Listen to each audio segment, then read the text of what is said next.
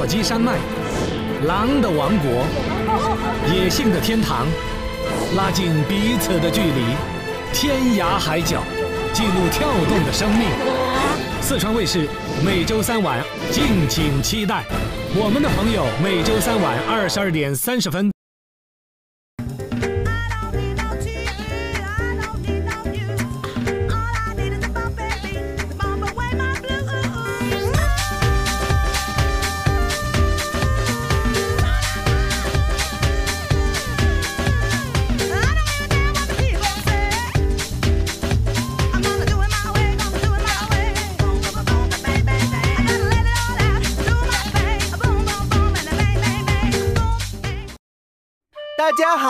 欢迎收看四川卫视《我们的朋友之宠物的秘密生活》，我是宠蜜家族队的领队洛奇。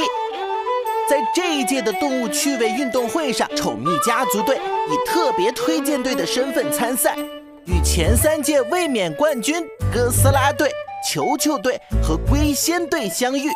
在艰难击败哥斯拉队和球球队之后，我们与冠军之间只隔了一个龟仙队。我能否带领宠蜜家族队首次参赛就收获冠军奖章呢？王者之战，来吧！哦耶，哦耶，一起摇，一起摇，左手右手一起摇，耶耶耶耶！喂，你们几个怎么一点都不兴奋呢？我们可是又赢了一场比赛哎！猪猪，你，哎，猪猪，当了影帝也要有团队意识的嘛！啊，猪猪，去把东西拿过来。嗯，行行行，我自己来，自己来。粉丝的心，还有个大葡萄，嗯嗯嗯嗯，真好吃。呵，光顾着吃，把正事儿忘了。来来来来来，心情好，不跟你们计较。打开看看，写的是什么？亲爱的洛奇领队，最英明的领队，被你征服，菜园子不见不散。呵呵哈哈，我这么出名啊！嗯，好香啊，还有点腥。难道是？哇，这美丽的面庞，这摇曳的身姿，这这这这这这这这这女神！哈哈哈哈哈哈！我的女神终于出现了。哈哈，呃，你们玩会儿，我我有事，先走了。啦啦啦啦啦！女神，女神，我来了，等着我哟！的造型是不是普通了点儿？嗯，解开扣子，立马变身小帅哥，展现我性感狂野的一面。呵呵呵呵，女神，我来了，你在哪儿呢？女神，你在哪儿呢？女神，你在哪儿呢？你的帅哥哥来啦！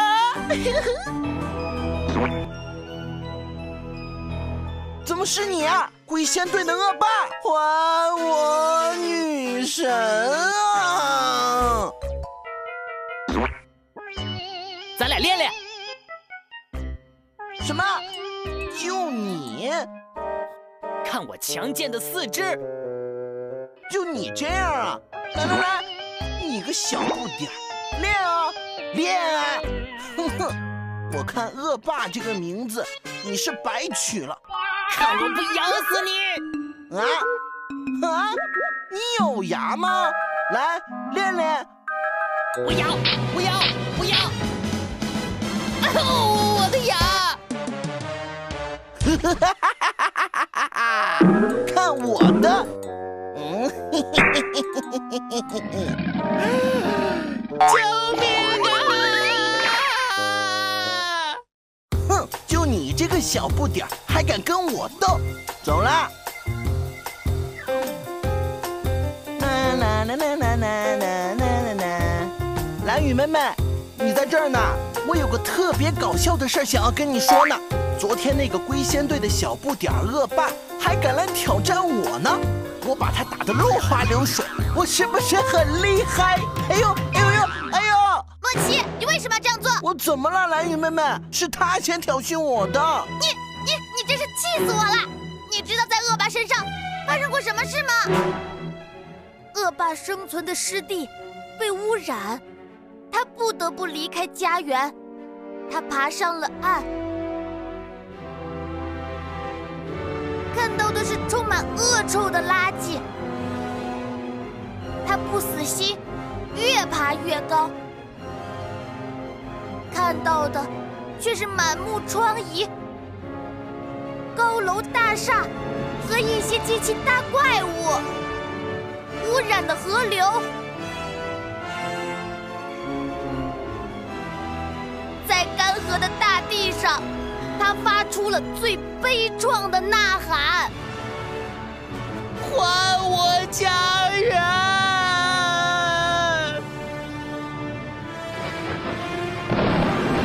谁来救救我？救救我！救救我！直到他遇到了老龟。家没了，走吧，我们一起生活。谢谢你收留我。嗯嗯嗯嗯啊盼盼食品邀您收看我们的朋友盼盼麦香鸡味块，越吃越痛快。我回来了，还带来了一个新伙伴，大家要互相帮助。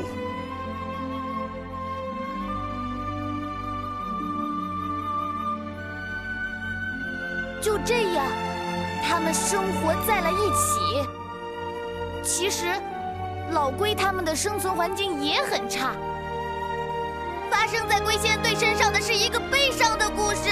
他们来参赛，就是希望得到菜园子，有一个安全的家。往届比赛没有这样的奖励，所以龟仙队才会又一次来参赛。我对不起。嗯，蓝雨妹妹，我要回去把这个事情告诉大家。嗯，我跟你们说，龟仙队的成员们太可怜了，他们失去了家园，什么都没了。他们现在急切需要一个安稳的家。你们说怎么办吧？我们已经得到了两个菜园子了，嗯，要不？行，那就这么决定了。我们大家都选择弃权，你们回去休息吧。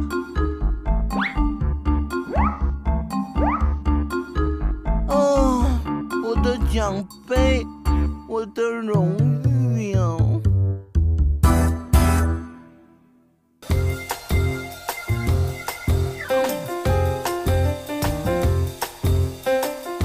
嗯，蓝雨妹妹，我们队伍商量好了，弃权把菜园子让给龟仙队。看他们那弱不禁风的样子，一看就是连顿饱饭都没吃过。洛奇，这是你们之间的事情，你自己去和当事人说清楚吧。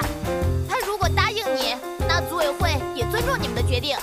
我我会和他说清楚的。那个小不点儿恶霸在哪儿呢？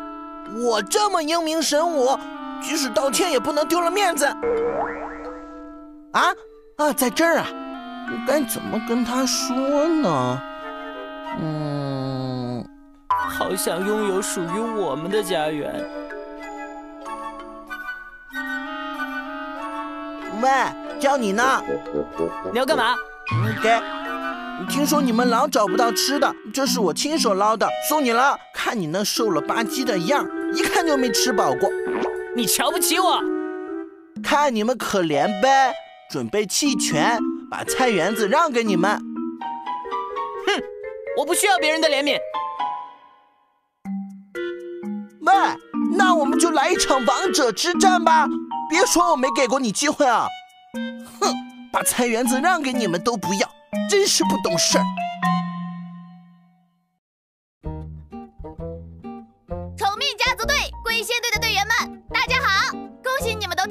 第四届动物运动会的决赛。决赛的比拼是残酷的，你们要做好准备。在正式比赛前，为了保证大家都能以最佳状态参赛，明天我们先进行一场水上热身团体赛，结果不计入正式比赛分数。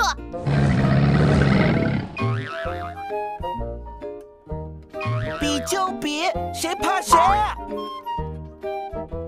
猪猪，水上比赛是你的强项啊，嗯明天就靠你了。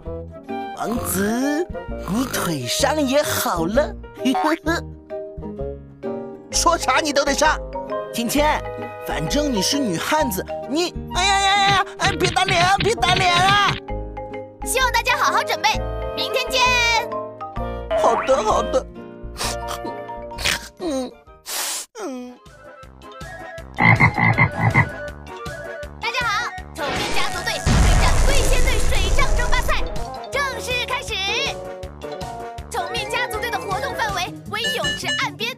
不可超出泳池围栏。水岸两侧分布炮台，正面中央为大型炮台。宠蜜家族队可通过炮台发射海洋球，向龟仙队发起攻击。如在攻击过程中，龟仙队领队恶霸或全体队员被逼上岸，则宠蜜家族队获胜。龟仙队的活动范围为泳池内，水下分深水区、浅水区，水底密布机关按钮，其中深水区机关可直接触发攻击武器，而潜水区机关为单向开口迷宫雷区，只有从单向开口方向进入雷区，才能正确触发水底武器发起攻击。如在攻击过程中，宠蜜家族队领队洛奇或全体队员被逼下水，则龟仙队获胜。水上通道可快速直达大型武器机关水炮，对宠蜜家族队发起全方位攻击。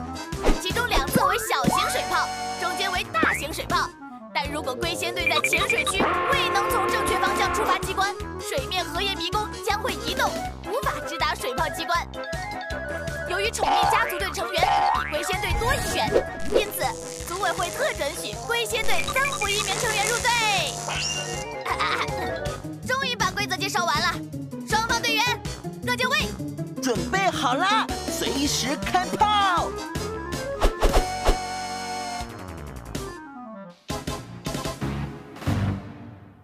兵分三路，分头行动。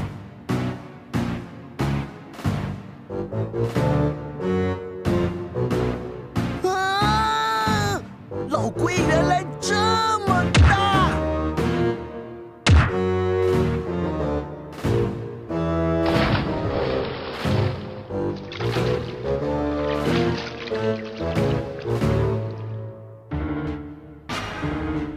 我掩护你。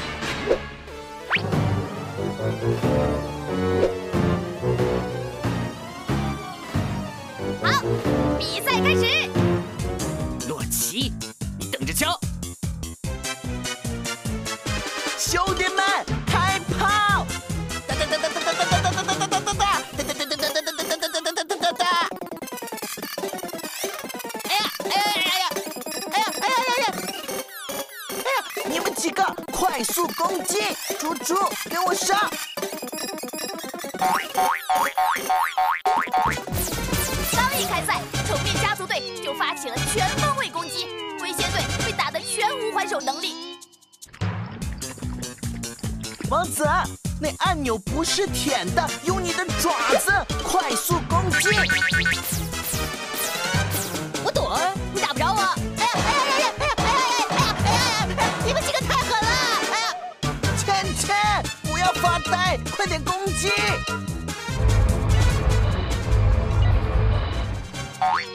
哎呀呀呀！水面火力太猛，转战水下。危险队转战水下，充分利用优势，免受宠蜜家族队攻击。哎哎哎哎哎哎哎！啊，深水区太深，憋死我了！啊，不行，得想办法触发大型武器机关。你们负责浅水区，我掩护恶霸。龟仙队的龟大钻入水中，进入浅水区雷区。水下机关被激活，水枪攻击启动。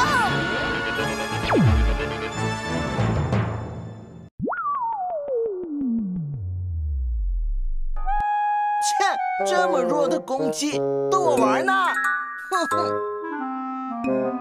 呵呵。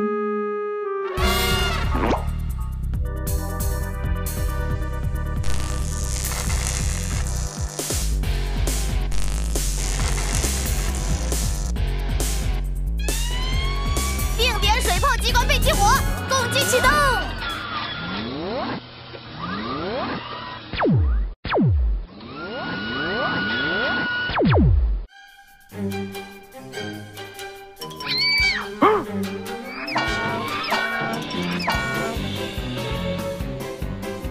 安娜猪猪，到那边去，给我打呀！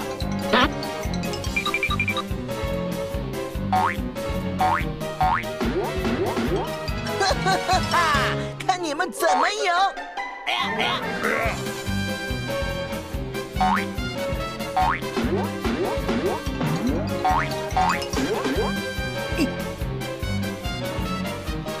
哎哎哎！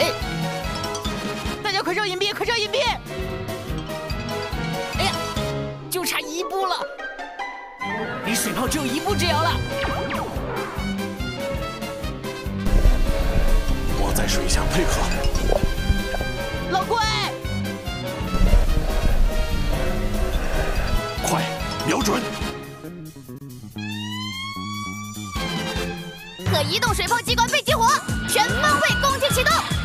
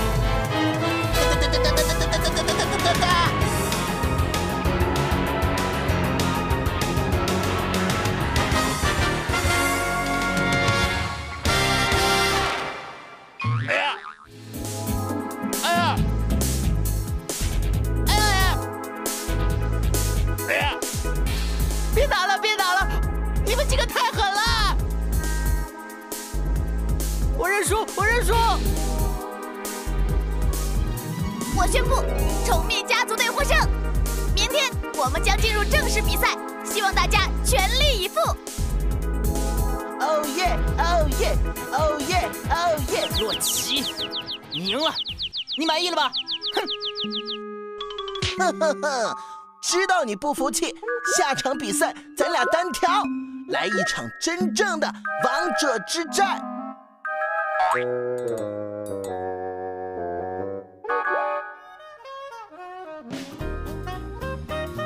耶耶耶！和龟仙队的比赛还没正式开始，我们就赢了。龟仙队真是太弱了，我一个就能把他们全打趴下，我简直太厉害了！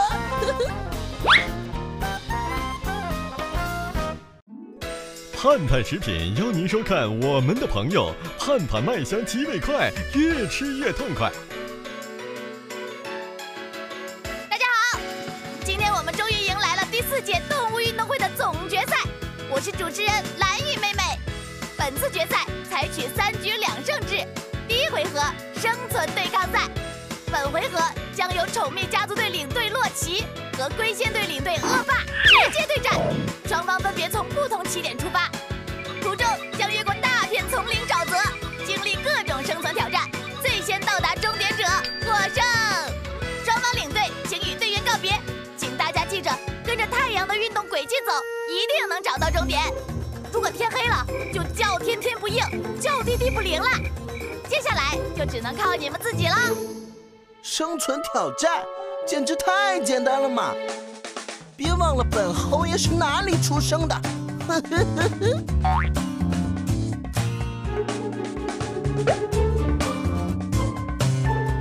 哎，芊芊，你又想干嘛？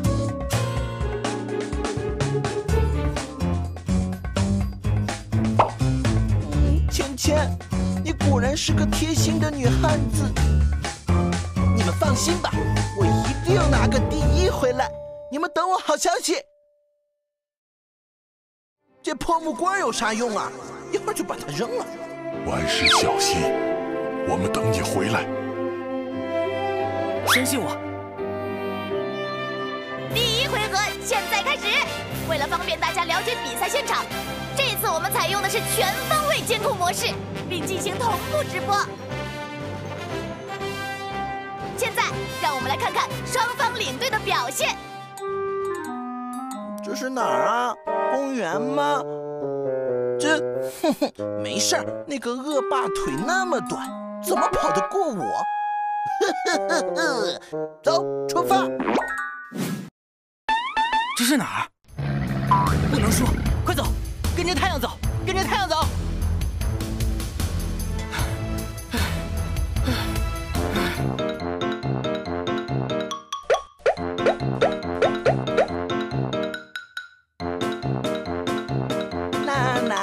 嗯，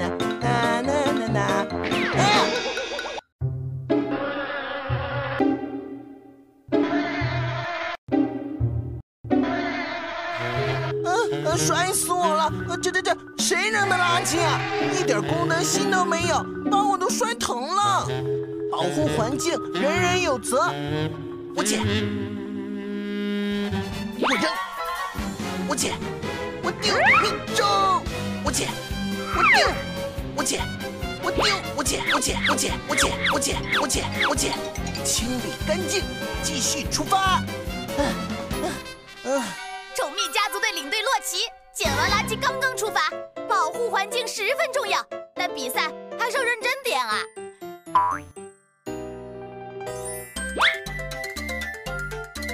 让我们转入现场画面，看看龟仙队的表现如何。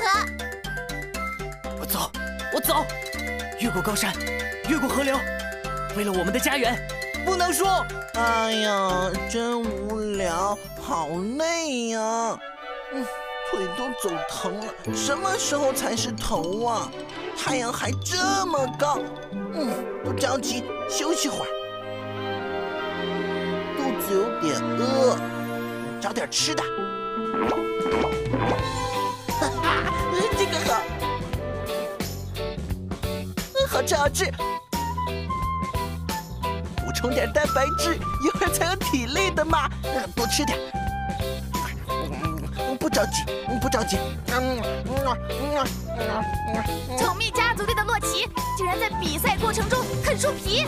虽然这是猴子在野外生存中补充体力的有效办法，但是时间才是最重要的呀。第一回合的比赛才刚刚开始，龟仙队的恶霸不断前行，不肯停下脚步，而宠蜜家族队的洛奇几乎原地踏步。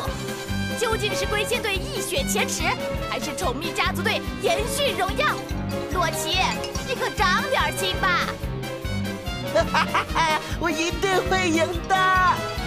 多吃点，好吃好吃。嗯嗯嗯嗯嗯嗯。龟仙队在恶霸的带领下，曾荣获冠军头衔。为了获得更好的生存环境，他们竟爆发出惊人的力量。也许这就是有志者事竟成的真实写照。本着公平竞技的体育精神，我和宠蜜家族队将全力以赴和龟仙队争夺冠军荣誉。下周让我们继续相约生存战之终极挑战。我是宠蜜家族队领队洛奇。我和宠蜜家族来到这里，在带给大家欢乐与幸福的同时，还想告诉大家，我们是人类的朋友，希望大家都能关注我们、爱护我们、保护我们，关爱我们的野生朋友，拒绝伤害，人人有责。四川卫视微信公众号宠物视频上传分享开始啦！扫描屏幕下方二维码，关注四川的精彩视频上传给我们，就有机会在节目中与全国观众分享宠物带给我们的快乐与幸福。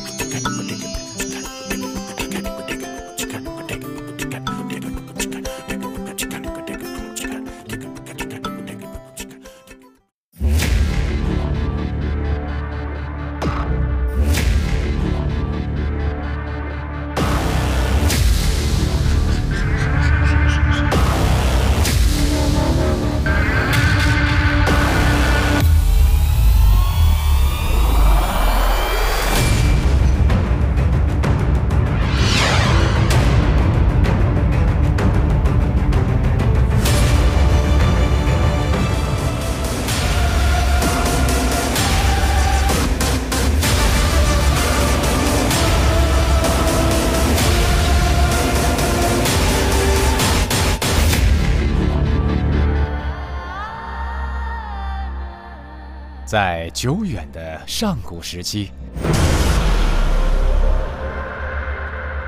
离赤道国家厄瓜多尔一千公里的地方，有一天，由于火山爆发，诞生了黑色的陆地，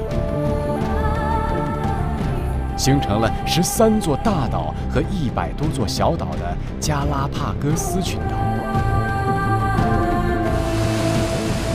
在几百万年的时间里，新的生命萌芽，并在与世隔绝中进化着。与干旱的陆地不同，加拉帕戈斯的海洋充满了各种海洋生物，成了目前世界上独一无二的生物活化石群岛。与波涛进行生死搏斗的海鬣蜥，还有开在赤道上的生态之花，进化历史的记录者象龟，以及从加利福尼亚漂洋过海来的海狮，它们美好的和谐世界正在开启。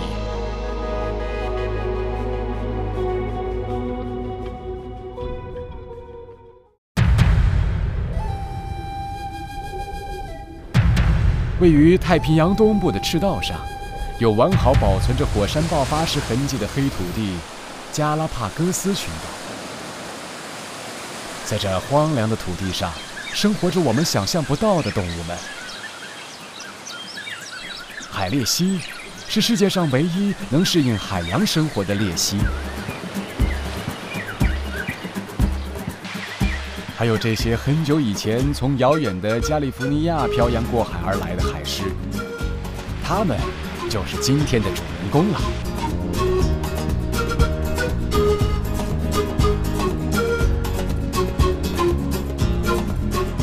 西班牙国王查尔斯五世的探险船在1535年首次发现了加拉帕戈斯群岛。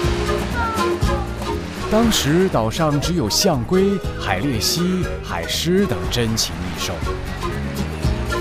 是世界上为数不多的没有土著居民的岛屿。哈，听到了吧？我们才是岛屿的主人呐！一九七八年，被联合国教科文组织列为世界自然遗产之后，严格禁止捕猎。就这样。加拉帕戈斯成了世界上唯一的人类和海狮共享一个海滨的度假地。圣克里斯托巴尔岛是连接加拉帕戈斯群岛和外面世界唯一的小型机场。欢迎来到加拉帕戈斯群岛。这里的动物生活在没有恐惧和完全自然的状态中，无论船怎么靠近，根本不会吃惊或者躲避。有啥好吃惊的？井水不犯河水嘛。就是，我先占了，就是我的地盘。趁船长离开，他们会迅速地爬上船，学着船长的样子。海狮船长，今天鱼钓的怎么样啊？看，这些家伙干脆酣睡不起了。只有肚子饿了，才会去海里觅食的海狮，一天可是要睡上十五个小时呢。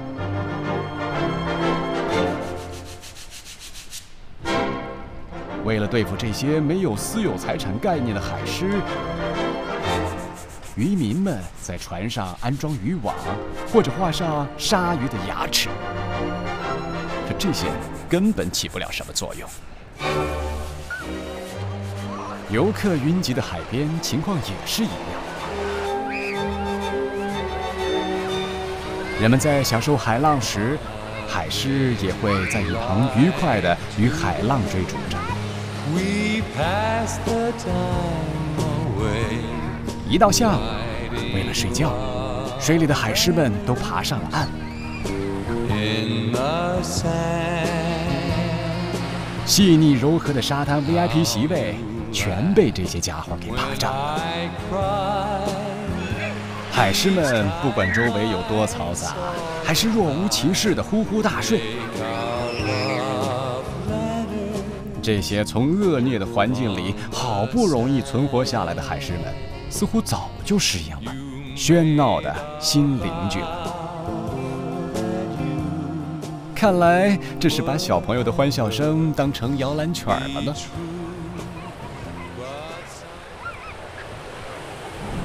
可偶尔，海狮中也有充满好奇心的家伙。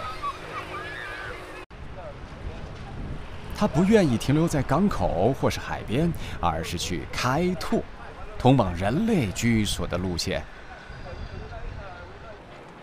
但是冒险常常会以失败告终。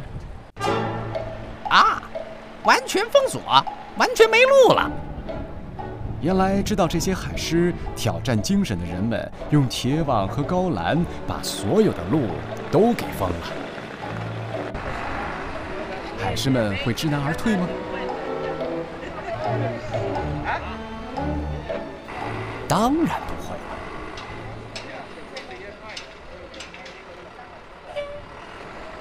我就坐这儿了，让你也尝尝被堵的滋味儿。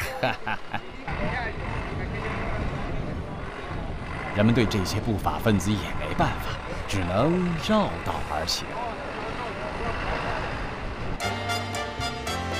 在加拉帕戈斯，无论在哪里，动物总是比人们优先。阴凉的椅子总是海狮们先占着，想坐下来歇歇脚的游客们，常常也找不到一个坐的位置。一天往返于各个岛屿之间的水上出租车，海狮们当然也不会体谅。看到呼呼大睡的海狮大爷，唉，只好去别的码头了。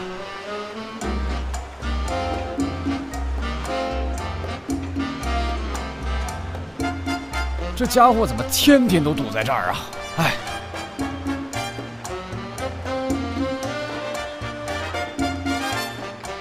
非得在这里吓的人们，呃，犹豫了一下。最后，蜷着身子从旁边钻了过来，可笑眯眯的，像理所当然。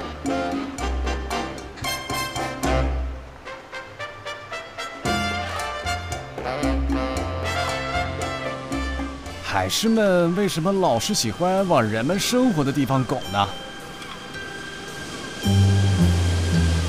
这个啊，啊，是因为火山爆发而形成的岛。除了人们居住的港口之外，到处被峭壁和粗糙的岩石所环绕。能够穿越这些巨浪，在岩石上筑巢的，那只有海鸟了。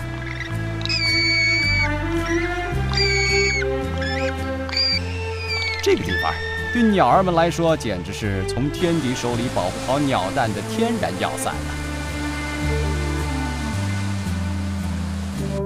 但是，对于用短期移动的海狮来说，火山岩是很难跨越的一道墙。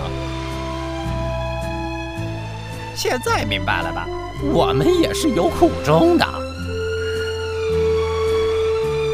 因此，柔软的沙滩被这些原住民霸占，也就成了理所当然的事情了。太阳快落山了，海边充满了嘈杂的海狮叫声。去海里觅食归来的海狮妈妈们，通过声音和味道来区分自己的孩子。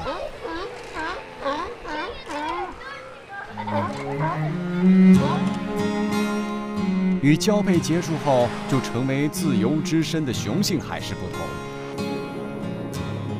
雌性海狮在哺乳动物当中以格外强的母性而闻名。雌性海狮给小海狮喂奶，短则十八个月，长则三年。对于只有二十五年寿命的海狮来说，已经是很长的时间了。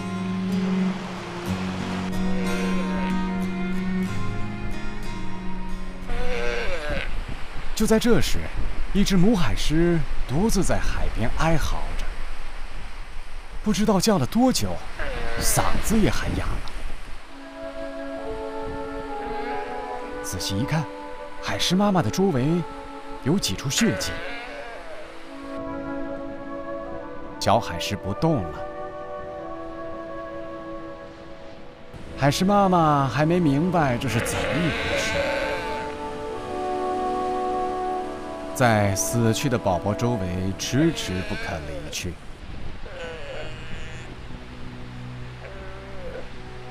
这是要离开了吗？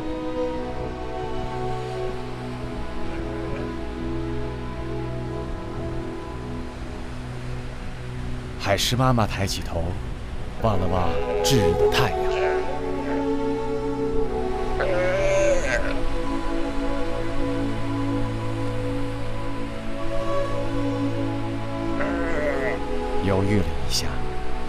海狮妈妈叼起宝宝，朝着海边走去。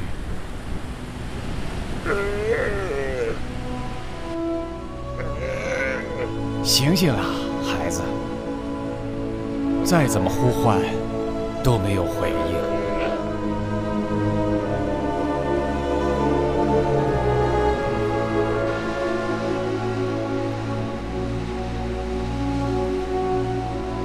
艰难的走到海边，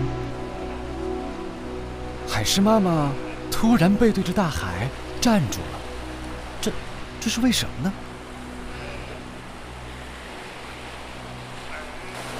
生怕汹涌的海浪卷走了熟睡的孩子，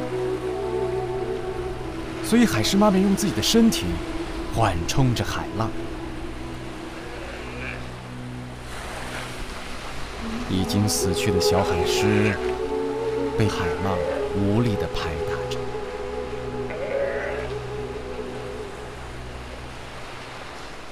但是海狮妈妈还是不放弃，把已经浸湿的宝宝重新带到了安全的地带。不知过了多久，疲惫的妈妈。趴在了宝宝身旁，可所有的精神都在小海狮身上，哪怕有一点点威胁，都会认真的警戒着。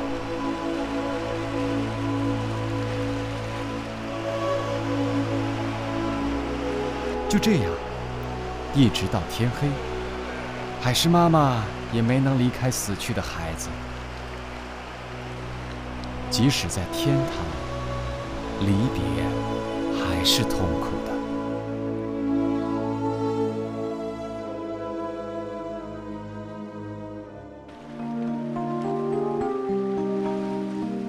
位于赤道上的加拉帕戈斯，太阳总是会同一时间升起。天慢慢亮了。最先亮相的是加拉帕戈斯的红石蟹，靠岩石上的有机物为生的红石蟹，正准备着用早餐呢。呀，早起的蟹儿有虫吃。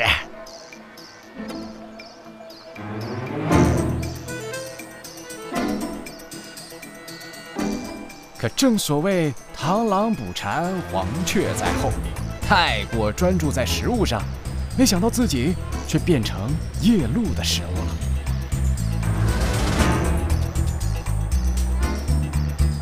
贪心的抓了一个大家伙，即使把腿给弄断了，也怎么都吞不下去。看来。过分的贪心只会带来无谓的牺牲啊！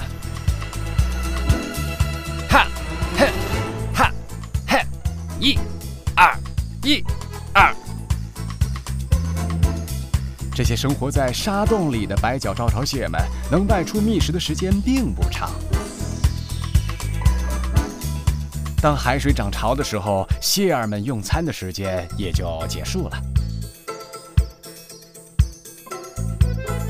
涨潮之后，在禁止使用网来捕鱼的加拉帕戈斯海边上，有人，嗯，怎么撒下了渔网呢？啊，这不是菲拉多三兄弟吗？他们怎么会非法捕鱼呢？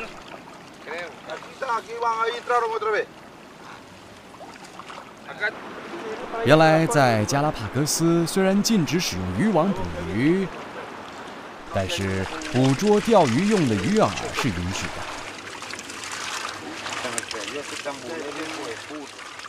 而且用多少捕多少，绝对不贪心。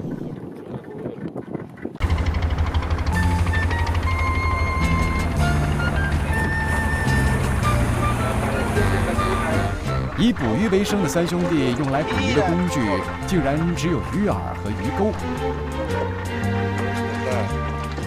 不过分的捕捞和自然共存，这是加拉帕戈斯的人们明智的选择。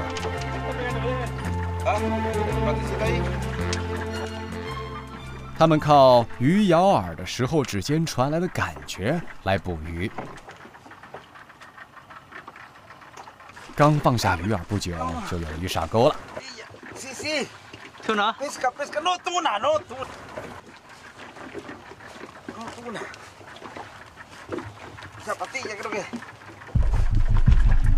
但是突然，鱼线开始变得更紧绷了。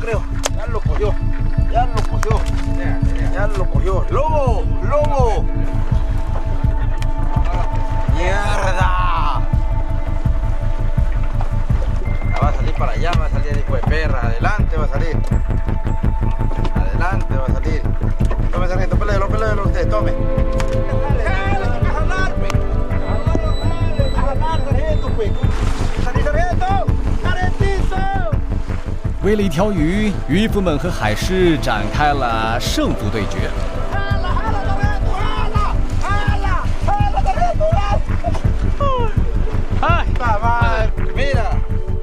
最后拉上来的鱼已经缺了一大块了。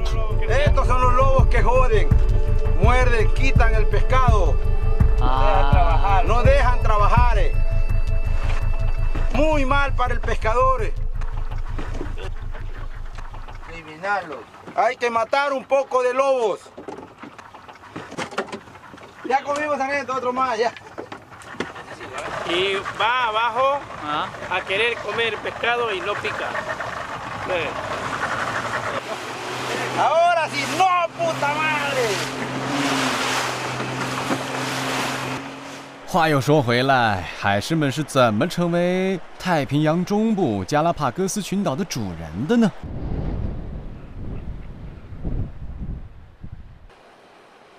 根据 DNA 的分析，我们吃惊地发现，他们的故乡是遥远的美国加利福尼亚。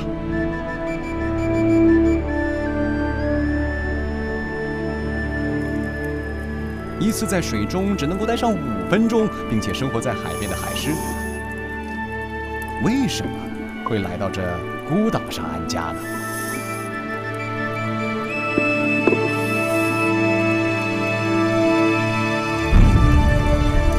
那是因为漂流在茫茫大海的海狮们，在加拉帕戈斯碰到了如此富饶的海洋资源，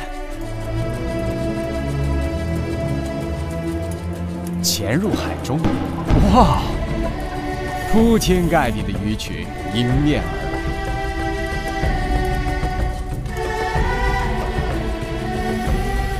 对于亲和力和食性都很强的海狮来说，这可是最佳的环境了。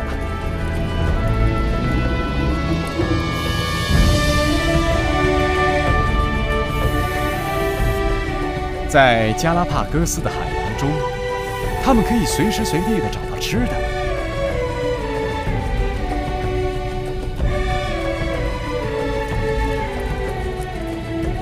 跟随鱼群的捕食者们，不仅仅是海狮，锤头双鳍鲨由于高价交易的鱼翅，在其他地区是面临灭绝的濒危动物，可在这里却成群结队的游来层层食物链中，各种海洋生物里肯定是少不了渔民们喜欢的龙头鱼和三线鸡。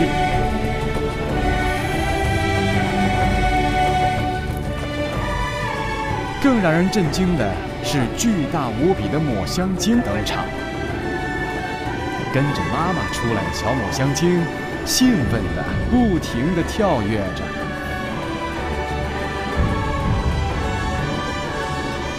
这里的所有生物，就像生活在伊甸园里一样，自由自在。加拉帕戈斯的海洋如此富饶，这秘密是什么呢？火山喷发为其四周的海域带来了丰富的矿物质，周边海域汇集了来自太平洋不同角落的四大洋流，相互作用下，产生了神奇的景象，并引发着植物性浮游生物的爆发性繁殖。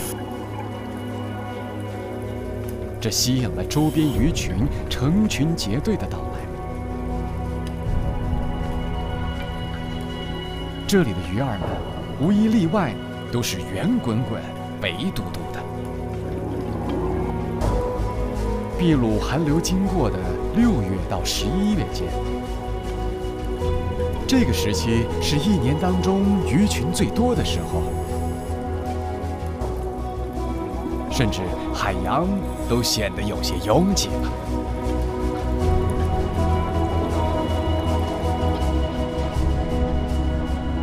远处天边云开始聚拢，仔细一看，原来不是云，而是浓雾。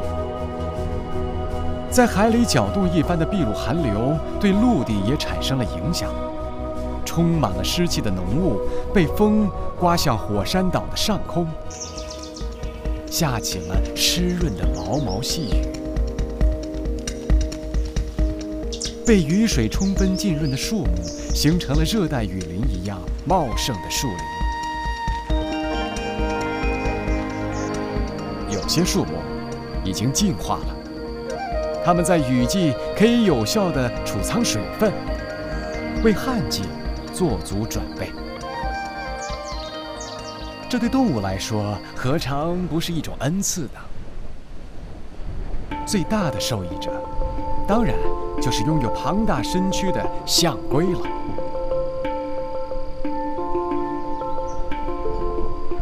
加拉帕戈斯这个名字在西班牙语当中是“大型龟”的意思，它可谓是这个地方。真正的代表性的物种了。只要不是人为的破坏生态，这个能活到一百五十年以上的象龟，就可以作为进化论的活化石，继续见证这个共存的美好世界。